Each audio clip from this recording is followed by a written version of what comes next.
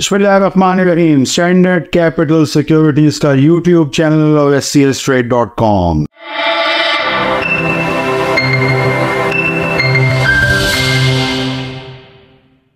हुकूमत की तरफ़ से इजारा सकूक का इजरा। अभी निगरान वज़ीर अजम भी स्टॉक एक्सचेंज के अंदर मौजूद। बड़ी ज़बरदस्त चीज़ है आ, और अब आम लोगों को भी इसका एक्सेस मिल सकेगा। ब्रोकर्स के पास भी ये ट्रेड हो सकेंगे। आ, मेरी ख्वाहिश ये है कि ये कैट्स पे यानी आम एक्सचेंज पे ही ट्रेड हो। इसके लिए बैट्स की कदगन ना हो। बहरल ये है कि ये 20 से 22 परसेंट के रिटर्न के मुनाफे के इजारा सकूक जो 90 बिलियन के लॉन्च होने जा रहे हैं 8 दिसंबर से इसकी ऑप्शन शुरू होगी और ये मामला जारी रहेगा। दिसंबर, जनवरी, फरवरी तक तकरीबन 90 बिलियन रुपए जो हैं वो हुकूमत को लेने हैं और आम पब्लिक इसमें बढ़ चढ़ कर हिस्सा लेगी 20 से 22 परसेंट मुनाफे के लिए। जो सुकूक होता है वो आम कमर्शियल पेपर या बॉन्ड से मुख्तलिफ़ होता है, वो इस्लामिक चीज़ होती है। उसकी वजह यह है कि उसके पीछे कोई अंडरलाइन एसेट होता है, यानी सुकूक के पीछे अंडरलाइन एसेट होता है वो किसी टी बिल या पाकिस्तान इन्वेस्टमेंट बॉन्ड की तरह खाली एक कमर्शियल पेपर में ही होता। वो अंडरलाइन एसेट कुछ भी हो सकता है, वो कोई भी कमर्शियल एयरपोर्ट हो सकता है, वो मोटरवे हो सकती हैं, और इस तरह के बहुत सारे पोर्ट्स हो सकते हैं। बाहर पाकिस्तान में ऐसे अभी भी असासे मौजूद होंगे, जिनके पीछे हुकूमत पाकिस्तान आम लोगों से सकूक ले सकती है। मैं तो ये समझता हूँ कि जो रोशन डिजिटल अकाउंट का भी जो सिलसिला था ओवरसीज़ पाकिस्तानीज के लिए, उस, वो भी अगर सकूक होता तो बहुत बेहतर होता। और उनके लिए भी सकूक अगर लॉन्च हो तो इसका जो है वो बहुत अच्छा रिस्पॉन्स आ सकता है, क्योंकि हम जानते हैं कि हुकूमत पाकिस्तान को सब पैसों की ज़रूरत है। जो बजट डेफिसिट भी बहुत ज़्यादा बढ़ रहा है और फ़िज़िकल रिस्पॉन्सिबिलिटी एक्ट भी ब्रीच हो रहा है। बार बार आप ऑप्शन में आके पैसे नहीं ले सकते कमर्शियल बैंकों से और इतने महँगे पैसे कमर्शियल बैंकों से, ये चीज़ जो है वो समझ में नहीं आ रही थी तो सुकूक का इजरा मेरे ख्याल में इस वजह से है।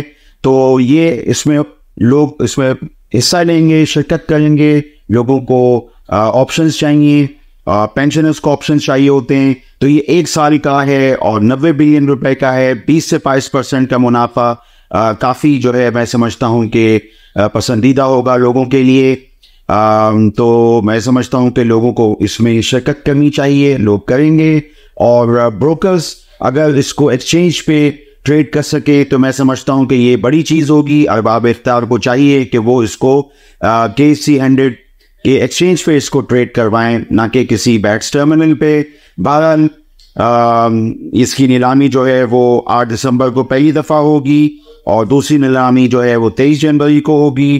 तीसरी नीलामी जो है बीस फरवरी को होगी। ये स्टॉक एक्सचेंज इंतज़ामिया की तरफ़ से आ, जो नोटिस मौसू हुआ। अब मैं थोड़ा सा बात करूँगा जिस मौजू पे हम काफ़ी दिनों से बात कर रहे हैं वो पाकिस्तान सॉवरन वेल्थ फंड इस हवाले से मैं बहुत दफ़ा बात कर चुका हूँ। इसमें ओजीडीसी के स्टेक जा चुके हैं पीपीएल माई पेट्रोलियम और नेशनल बैंक के स्टेक जा चुके हैं। और इसका पूरा जो हदफ है हुकूमत का, इस फंड का, वो तकरीबन 7.8 बिलियन डॉलर्स का है, जो अभी हुए नहीं है। ये दरअसल ये उस असासों की कीमत जात है, जो कि इस सॉवन फंड में दिखाई जा रही है। इसमें नीलम जेलम हाइड्रो का प्रोजेक्ट भी है, जो कि बहुत ही बड़ा प्रोजेक्ट है। जो कि काफ़ी सालों से बनता रहा, फिर यानी जो पिछला दौर हुकूमत था 2020-21 में ये कमर्शलाइज हो ही गया। आ, बीच में जो अभी हुकूमत आई थी यानी 2022 से लेके दो हज़ार तेईस तक तो उनके दौर में थोड़ा सा ये बंद रहा लेकिन फिर वापस कमर्शियल ऑपरेशन इसके इलाके शुरू हुए। तो बहुत ही बड़ा प्रोजेक्ट है।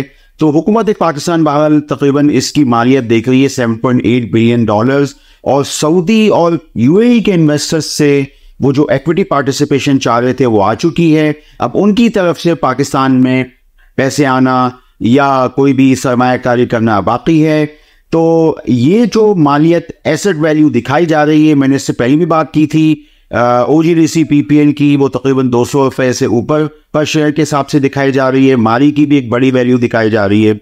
और नेशनल बैंक जो इस वक्त काफ़ी डिस्काउंट पर ट्रेड हो रहा है, अपने बुक वैल्यू के हिसाब से पॉइंट टू पॉइंट थ्री का प्राइस टू बुक मल्टीपल आप हमारी वेबसाइट से जाके भी देख सकते हैं। वो सिर्फ़ इसलिए डिस्काउंट पर ट्रेड हो रहा है कि डिविडेंड काफ़ी माह साल से नहीं दिए गए और वो डिविडेंड इस वजह से नहीं दिए गए कि सुप्रीम कोर्ट में एक एक आ, मसला चल रहा था पेंशन और ग्रेजुटी के पैसे सेट ऑफ़ नहीं हो सके नहीं हो पा रहे। पचास और चौवन बिलियन मैंने आखिरी दफ़ा रिपोर्टेड अकाउंट्स में देखे थे अब ये फिगर और बढ़ चुकी है। बहरहाल, अगर ये चीज़ें सेट ऑफ़ हो, जो कि किताब की कंडीशन ऐसी है कि वो सेट ऑफ़ हो सकते हैं तो और अगर फ़र्ज़ करेंगे, उसमें ये लोग करते हैं और सुप्रीम कोर्ट के फैसलों पर अमल दरामद करते हैं। तो ये है कि नेशनल बैंक ऑफ़ पाकिस्तान के चीज़ें जो है वैल्यूशंस भी बुरी नहीं है। दूसरे बैंकों की नस्बत, आप जानते हैं कि यू बैंक हर क्वार्टर में ग्यारह रुपए का डिविडेंड देता है एमसीबी बैंक सात से आठ रुपए का डिविडेंड देता है मीज़ान बैंक भी पाँच रुपए का डिविडेंड दे, देना दे, देना शुरू हो गया है बैंकल अभी बैंकल फलाब हाफ़ ईयर में भी डिविडेंड देते हैं फुल ईयर में भी डिविडेंड देते हैं तो क्यों ना नेशनल बैंक भी उस सफ में शामिल हो जाए जो कि ज़्यादा डिविडेंड दे सके। अब ये पाकिस्तान सॉवन वेलफेयर फंड में इसके स्टेज जा चुके हैं। आप सैंडेड कैपिटल सिक्योरिटीज के यूट्यूब चैनल को सब्सक्राइब कीजिए। और सुकूक के हवाले से मीडिया पे देखते रहिए इसके अलावा पाकिस्तान सॉवन वेलफेयर फंड में जितने भी शेयर्स आए हैं जिनका तस्करा मैंने किया है इनके फंडामेंटल्स हमारी वेबसाइट एस डॉट कॉम पर देखते रहिए आपका शुक्रिया For more details, call us today at triple one triple one seven two one. Open an account with Standard Capital Securities. Start investing in your financial future. Talk to our experts and get access to exclusive market research and much more.